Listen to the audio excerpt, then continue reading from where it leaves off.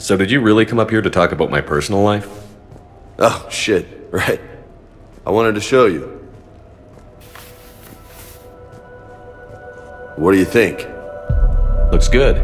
You've earned it. Now the real work begins, right? Exactly.